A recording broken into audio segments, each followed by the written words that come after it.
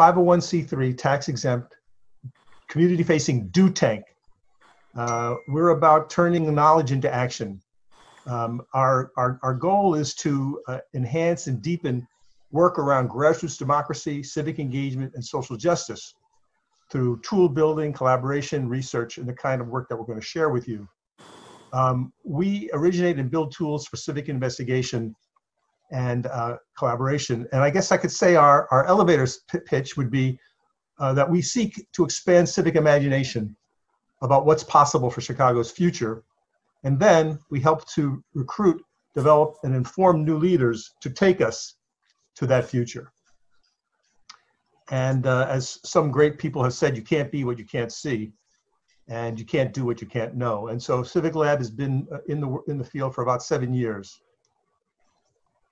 Um, uh, the website that we have open to the public is tifreports.com, and if you're interested in any of this stuff, we invite you to go to that space and peruse the mountains of data, videos, all kinds of information that we've placed there uh, since uh, the work began, including the training videos that uh, we crowdfunded for, and they're about 16 minutes, and one's about 18 minutes, and it, it's you know it's pretty tight and strangely entertaining. Our purpose here is to explain to you a little bit about what TIFs are, and I could just say, I, uh, if you know a, a lot, I can skip through this part. So, would you like me to proceed with an explanation of how TIFs work? I'm actually very familiar, but Marcus? I'm familiar too. Um, Oh, you are? some All good right stuff then. As well, so All right, so I can fly through this. You know then that the TIFs uh, extract property tax dollars f- from within the boundaries of the designated TIF district. Um, and this is an example we use from a real TIF in the Midwest TIF uh, over in uh, West Lawndale. Uh, and so you know that the TIF money that's extracted um, over the base goes into the TIF kitty bank. So that's that uh, light yellow triangle, the famous increment. Um, and so the thing to that we like to, to to call out is the money that is extracted from the TIF district does not go to the units of government that um, require those TIFs, those that property tax dollars to operate. Another way we say it is the base uh, property taxes that are collected inside TIF districts that uh, remain for the use of government goes uh, to our budgets and they are on the books. But the money that goes uh, from the increment into the TIF system is off the books and is controlled by the mayor. In this case, obviously, Mayor Lightfoot. But whatever, whoever your local mayor is, that is the person that's controlling that piggy bank. And just to remind us, you know how how uh, it works here. Um, our local schools are the number one recipient of property tax dollars, and in an aggressive state like Illinois, uh, which is does not have a progressive income tax, our local schools are so desperately dependent on property taxes, which we think is also uh, an issue of social justice. We think it's unfair, but that's the reality. But it means that we have to be very mindful of anything that takes a dollar of property tax away from the units of government that should get them. Now, a TIF is created in the state of Illinois according to a complex set of uh, statutes, but basically, if you can prove some of the factors in this menu, congratulations, you have a TIF, and they have to do with the word blight. And honestly, we could probably stop here and spend the rest of our afternoon discussing who blighted who in America and in, in America's cities. But nevertheless, if you can show that your community has um, significant aspects of aging, obsolescence, code violations, vacancies, and overcrowding, you're well on the way to establishing that your community or some part of it is blighted and therefore may get a TIF. Uh, and the TIF, of course, is to create economic development. That's the whole idea to create new things where there were no things, new jobs where there were no jobs, some new housing, some perhaps new shopping malls, etc. And of course, these projects can be uh, are often uh, privately owned. So we're talking about gifting property taxes to private business, uh, by and large. Um, in this county of Cook, we've got uh, three 444 TIF districts in 2019, uh, of which 140 of them are in the city of Chicago. it's out of control. So it's about 30% of the entire city is in a TIF. And across the count, the rest of the county, it's about 90 municipalities. So you can see how widespread the TIFs are in the county of Cook.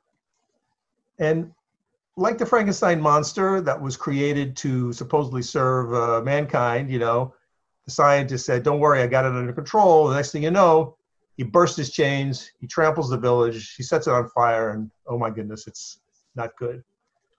There are 140 active TIFs in 2019 in Chicago. They stole $684 million. That's how much property taxes did not get to the units of government that were supposed to receive those taxes. This is just one year. And since TIFs came to Chicago, we're talking about $10 billion have gone missing in this way. You can see the rapid rise of TIFs from 1989, which is when Mayor Daley II came into power. Uh, and you can see the revenues going up, up, and up. So this again is the, the trend history of TIFs in Chicago, uh, ending with the uh, 2018 year that I have on this particular chart. So you can see it's a big deal, and we think it's, um, you know, it's it's a it's a it's a loaded uh, political issue. It ha- it reeks with power and, and privilege, and um, it seems to be immune to reform. The seven years that we've spent investigating TIFs, um, you know, have made us very familiar with with these numbers. But honestly, most people in the city of Chicago do not know any of the things that we're talking about right now.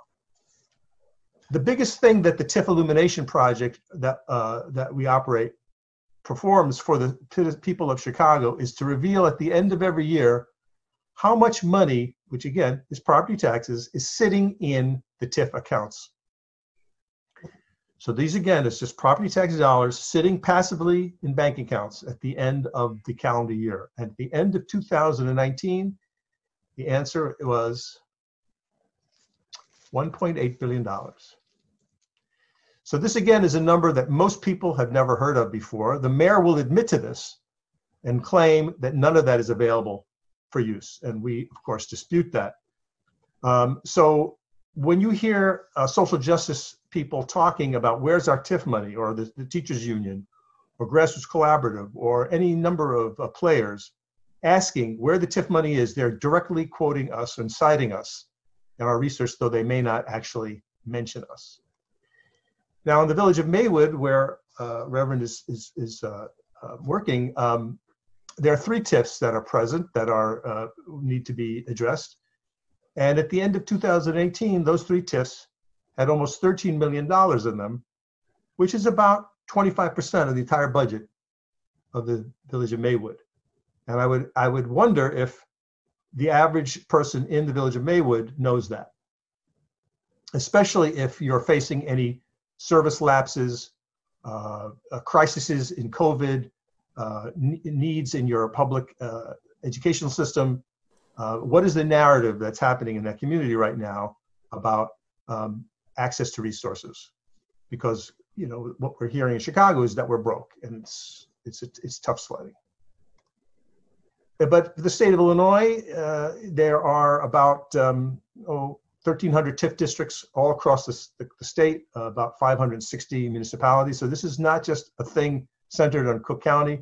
This is a um, statewide thing, and uh, according to our calculations, TIFs have stolen 22 billion dollars across the state. So this is a this is a huge um, civic issue. Sadly, there is no national count we estimate that there could be as many as 20,000 TIF districts operating presently in America, extracting $40 billion annually, which means that America's public schools are being robbed of about $20 billion conservatively each and every year. And of course, where does all that money flow to? Well, we can have a separate conversation about the merits of taking that money away from public use and giving it to private uh, developers uh, who um, are, are, then connected to the local political ecosystem. So here are the few policy uh, problems that we would have, have identified that we want to lay out for your consideration. The first is I've already mentioned the TIF starve local government. So um, we care about our public uh, uh, entities. They're vital for our communities, especially our communities of color. And so when a dollar of property tax goes missing, as I said, in the city of Chicago, the schools miss 56 cents, but the city of Chicago loses 18 cents. So these are significant numbers that impact our ability to deliver essential services. The definition of blight, according to the statute, is meaningless. These are a few of the projects that have been funded by TIFs in Chicago. We have a long list. $842 million were spent on high rise projects in the loop. Giant buildings that cost 50 to $100 million were lavishly supported under the Daley and Emanuel administrations. Um, not too far, far from where I live in, in Lincoln Park, which is a well to do community, the uh, Grossinger Superstore got almost $9 million in TIF money to renovate it. And it's right across the street from the Apple Store, uh, across the street from a Charles Schwab stock marketplace, and the Steppenwolf Theater. Uh, so it's completely, um, the word in blight is elastic, and virtually anything or any place in the state of Illinois can be designated as blighted and receive TIF money, and it has. Uh, TIFs bolster and, and further economic inequity and segregation. This is a key point, um, my friends. TIFs are anti-distributional. And the heat map, which came from the Chicago Reporter, shows the where TIFs are spending lavishly are in the central loop area. And it makes sense. If you put a, uh, an entity on a community that's capturing property tax rise and saying to those people in the community, this is going to save you, and it's a poor community, it's a bad deal for them. Property taxes are not rising in our, many of our uh, distressed communities. Quite the contrary. We have most homes underwater in America are in Chicago, and they happen to be in black and brown communities. No, it's quite the opposite. TIFs handcuff money in communities that are already affluent. And um, we have TIFs in the West Loop and the South Loop, and all you have to do is just look at their balance sheets, and those communities are flush with cash, and that money cannot find its way to um, places far away from those from those locations. Uh, this is just an example of what I meant by the TIF money in the West Loop in the Loop area. Um, PepsiCo's headquarters, $11 million.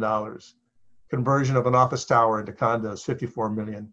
Conversion of an office tower into the hotel, $5 million. Also, we say TIFs are corrupting. Um, we know it's, it's, it's a sad story. Uh, Chicago is the most corrupt city in America. Illinois sent two governors to prison. It's a pay to play state. It's hardly worth talking about, you might say.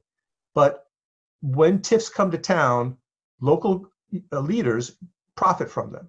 So these are just four uh, uh, aldermen at random that I've looked at in the last three years who all received lavish money from people who receive TIFs in their wards. And we say that's immoral. It may be legal, but it's immoral and corrupting. And um, Alderman Ed Burke, the most powerful man in the Chicago City Council, is indicted and will go to prison. And this is from the transcript from the FBI wiretap. The person that he's putting the touch on saying, um, "I need his favor for my TIF money." That's what the that's what the uh, person who's trying to bribe the alderman said. That was that's what he said on the federal wiretap. So for that reason, um, we believe TIFs are unjust and racist, and we are we, we are calling for their abolition.